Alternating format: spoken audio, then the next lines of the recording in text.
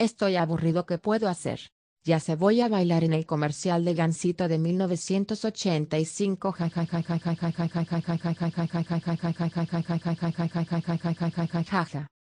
Ven conmigo a visitar donde hacemos tu gansito, el sabroso pastelito que es de todos.